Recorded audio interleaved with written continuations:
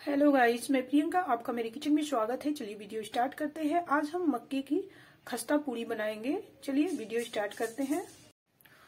देखिए, हमने ये एक कटोरा ले रखा है। इसमें हम आटा गूंथेंगे। ये गेहूँ का आटा है। हमने ये एक कटोरा गेहूँ का आटा ले लिया है। इतना ही हम मक्के का आटा ले लेंगे।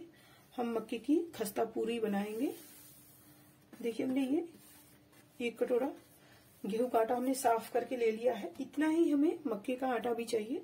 दोनों मतलब बराबर होना चाहिए, तभी पूड़ियाँ जो हम बनाएँगे, खस्ता पूड़ी मक्के की, वो अच्छी बन पाएगी। इसलिए हमने एक कटोरा मक्के का आटा लिया मतलब गेहूँ का आटा लिया है और हमें इतना ही मक्के का भी आटा लेना है।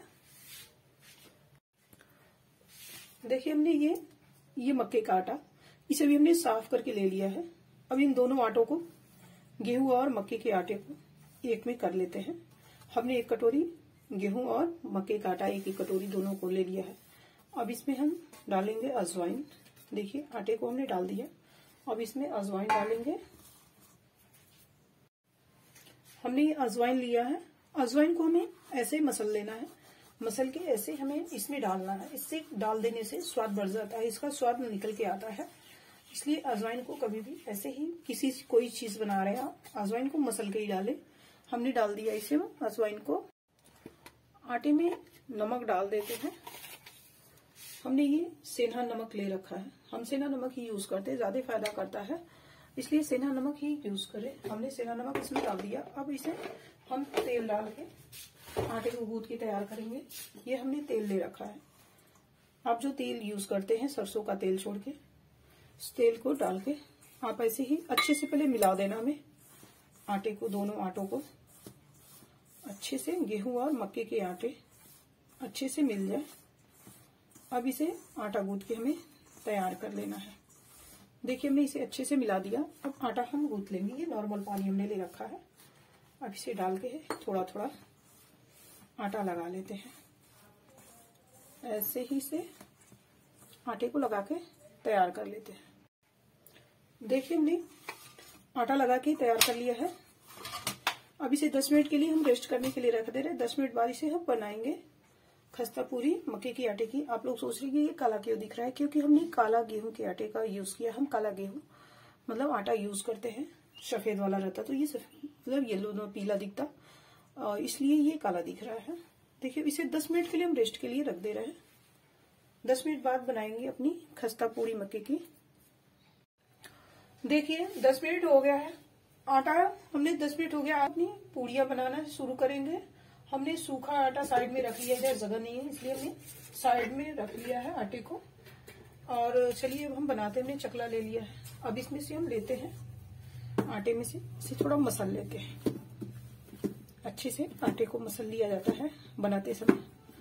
अब इसे हम छोटे छोटे तोड़ लेंगे आटे में से। देखिए, ये जैसे हम लोग सिंपल गेहूँ आटे की मतलब पूड़ी बनाते हैं। उससे थोड़ी ये मोटी होनी चाहिए। ये पतली नहीं रहती है। इसे थोड़ा मोटा उसको, उस पूड़ी से इसे हमें थोड़ा मोटा रखना है। तभी अच्छी पूड़ियाँ खस्ता मतलब बन के तैयार होंगी, फूलेंगी। ज़्यादा पतला रहेगा तो ये फूलेंगी नहीं। इसलिए उसकी अपेक्षा इसे हमें थोड़ा मोटा रखना है। मक्के के आटे की जो हम बना रहे हैं। देखिए। देखिए हमने इतना तोड़ लिया है। अब इसमें से हम निकाल के एक बार ऐसे ही गोल घुमाते हुए हमें, देखिए, ऐसे ही अच्छे से हमें मसल, इसको मल लेना है आटे को। अब देख सकते हैं आप, ये कैसे पेड़े के जैसे दिख रहा है। अब इसे हम बेल के तैयार करेंगे। इसमें हम लगाएँगे सूखा आटा। हमने साइड में सूखा आटा ले रखा है। अब इसे हम इस पे रखेंगे। देखिए, अब इसे हमें पूड़ी अपनी तैयार करनी है बेल के। दिखाते हैं हम आपको। बस इतना ही होना चाहिए। देखिए, पास से उठा के हम आपको दिखा देते हैं। इतना ही मोटा देखिए, ये इतना मोटा होना चाहिए। मक्के की आटे की पूड़ी बनाते समय मतलब बातों का ध्यान रखना पड़ता है। ऐसे ही मोटा रखना पड़ता है। नहीं तो ये फूलेंगी नहीं, खस्ता पूड़ी बना रहे हम। अब इसे भी हम ऐसे ही, जैसे हमने पहली दफार किया, अब इसे भी हम ऐसे ही गोल करते हुए देखिए इसकी अच्छे से हमें चिकना करने करने, कर लेना रहता है। देखिए, इसे हमने चिकना कर लिया। अब इस पे भी हम सूखा आटा लगाएँगे। सेम जैसे हमने पहली बार करके पूड़ी तैयार किया, ऐसे ही हम सारी पूड़ियाँ तैयार कर लेंगे। देखिए, हमने पूड़ियों को इतना बना लिया है। अब इन सबको साइड में हटा देते हैं और तलना शुरू करेंगे हम। देखिए, हमने चूल्हे पे तेल रख दिया है। चूल्हे को हम ऑन कर देते हैं तेल गर्म होने के लिए। तेल गर्म हो जाएगा तो हम अपनी पूड़ी तलेंगे। देखिए, तेल को पहले हम चेक कर लेते हैं, गर्म हुआ है कि नहीं। थोड़ा सा हम आटे में से ले लेते हैं।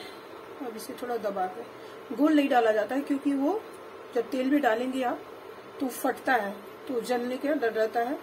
इसलिए कभी भी आटे में डाले चगी, कोई चीज़ बना रहे तो उसे चपटा करके पहले डाल के चेक कर लेकर चेक कर लिया करें कि वो मतलब सही से गर्म हुआ है कि नहीं। देखिए। तेल गर्म हो गया है। अब हम अपनी पूड़ियाँ तलेंगे मक्के की। पूड़ियाँ डालना शुरू करेंगे तेल में। तेल देखिए, गरम हो गया है। और हम इसे थोड़ा हिलाते हुए एक ही बार कई छेरी डालेंगे। इसे थोड़ा हिला लेते हैं, उसके बाद से दूसरा डालेंगे।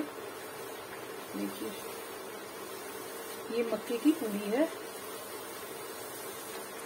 ऐसे ही हिलाते हुए हमें इसे करना है।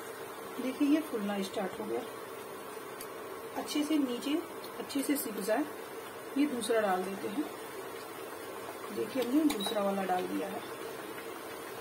इसको डाल के चूल्हे का फ्लेम मतलब तेज होना चाहिए। कम नहीं रखना है। अब इसे ऐसे ही हिलाते हुए हमें पूड़ियों को तलना है। देखिए, ये भी फूल गई। अब इसे हम पलाट देते हैं। देखिए, कितनी अच्छी लाल हो गई है। देखिए हमने पहली बार जो डाला था, वो तैयार हो गई है पूरी। अब इसे निकाल लेते हैं। ऐसे ही रख के अच्छे से इसका तेल जो है निकल जाए और उसके बाद से ये जाएगा प्लेट में, ठीक है? अब इसे भी ऐसे ही करते हुए हमें अच्छे से पूड़ियों को सेकना रहता है, लाल होने तक। इस पूड़ी को सेकते समय इसे लाल तो देखिए, आप देख सकते हैं हमने कलर कैसा रखा है। ऐसे ही होना चाहिए। तभी खाने में ये अच्छी लगेगी। क्योंकि ये मक्की की है, इसलिए दोनों साइड लाल होना चाहिए, ऐसे ही कलर चलिए, इसे भी हम प्लेट में रख देते हैं। तैयार हो गई है। ऐसे ही करते हुए हम सारी पूड़ियों को तल लेंगे मक्की की। देखिए हमने, हमारी पूरी सारी, हमने सारी पूड़ियों को तल दिया। पूरी हमारी हो गई तैयार। देखिए, इसे भी हम निकाल लेते हैं। देखिए,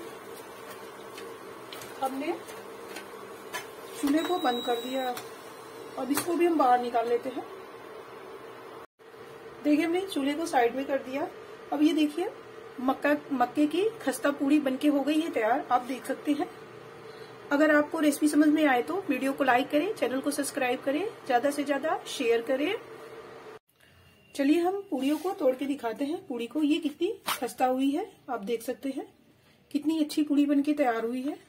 एक ही बार हमने दबाया, तुरंत टूट गया।